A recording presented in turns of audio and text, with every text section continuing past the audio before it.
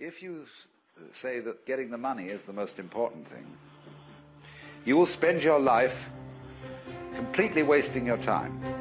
You'll be doing things you don't like doing in order to go on living, that is, to go on doing things you don't like doing, which is stupid. Better to have a short life that is full of what you like doing than a long life spent in a miserable way. And so, therefore, it's so important to consider this question what do I desire?